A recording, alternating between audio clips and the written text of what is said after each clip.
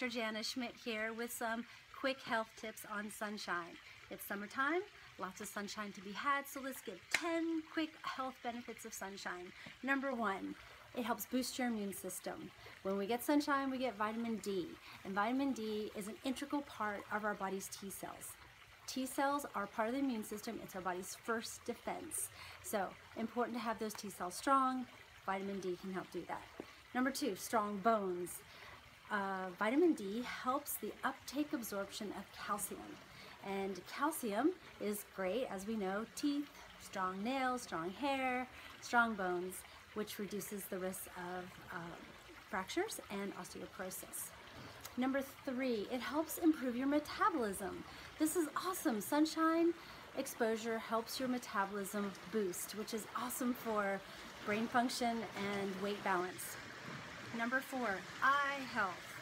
Vitamin D has been linked with lower incidence of cataracts and studies also show that good levels of vitamin D lowers your risk of macular degeneration as you age. Perfect. Uh, number five, it helps reduce the risk of type 2 diabetes, especially in children. Now, we used to think this was mostly uh, an adult disease, but now we're seeing it more and more with our children, and this will help, sunshine will help, risk, lower those risks in children by up to 40%. Okay, and there's lots of other factors with that too, but sunshine's a good part of the protocol. Let's see, we're on number six, lowering blood pressure. If you're suffering from high blood pressure, there's lots of great things you can do that include like eating uh, lots of berries and including garlic in your diet and exercise, but also include sunshine. Heightened vitamin D levels have been shown to reduce blood pressure.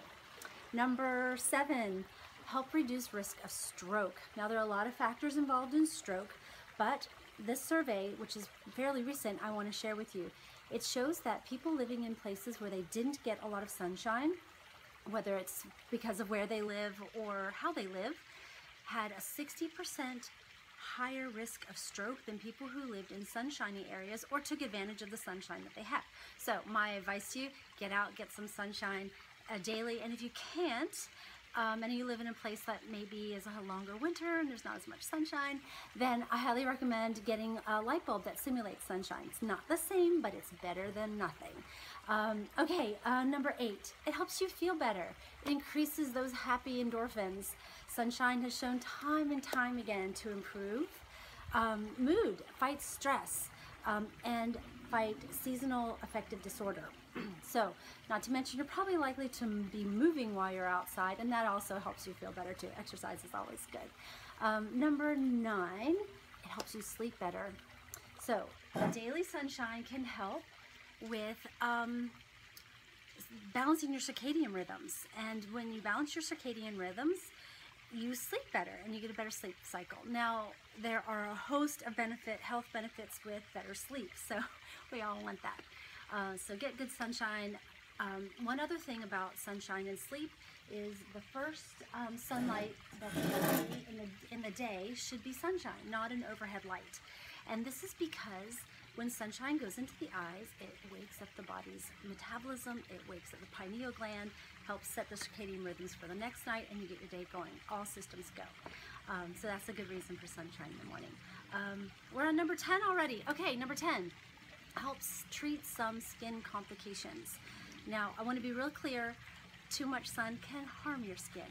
But vitamin D is excellent for sunshine. Vitamin D is excellent for skin complications such as eczema, psoriasis, um, acne is another good one it's for.